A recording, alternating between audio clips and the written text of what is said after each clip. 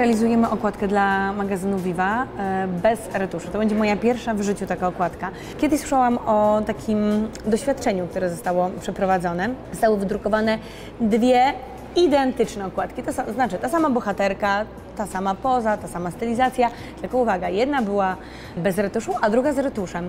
I po, postawiono je obok siebie e, w kiosku i jednak większość osób sięgnęło po tę gazetę z retuszem.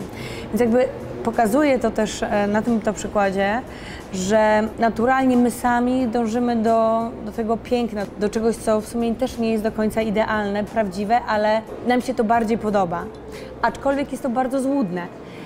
Akcja e, Piękno bez filtra e, marki DAF jest, jest czymś uważam fantastycznym, ponieważ ma na celu pokazać kobiety prawdziwe, piękne takie jakie są, e, a nie takie jakie stworzył je Instagram e, czy chociażby wielkie e, kampanie reklamowe. Już w samej Francji i Norwegii mm, są podpisy przy mm, właśnie plakatach, które są retuszowane, że obraz jest przekłamany. Ja zdecydowałam się między innymi e, na wzięcie udziału e, w tej akcji, chociażby dlatego, że mam dwie e, małe kobietki w domu, które niedługo staną się nastolatkami i już się boję sama, co to będzie.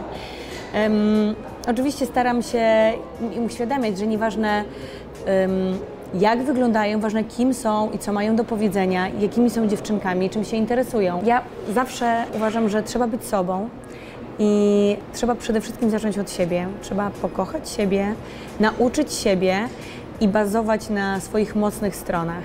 E, przyznam szczerze, że zawsze kiedy jestem pytana, czy mm, komentarze na mój temat e, mnie e, dotykają, bolą, sugerując, że może powinny, e, ja po prostu odpowiadam, e, nie czytam o sobie, bo co się u mnie dzieje, sama wiem najlepiej.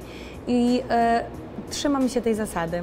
Kiedyś, kiedyś, dawno temu, e, po publikacji mojej takiej pierwszej sesji gazetowej, ukazała się ona oczywiście w gazetach, ale również także była, e, były przedrugi w internecie i było forum, gdzie e, różne osoby mogły się wypowiadać, wiadomo.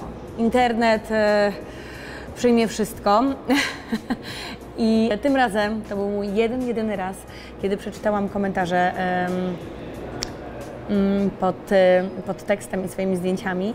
Przyznam szczerze, chyba nigdy w życiu nie zrobiło mi się tak przykro e, i tak źle. Bardzo to mocno przeżyłam.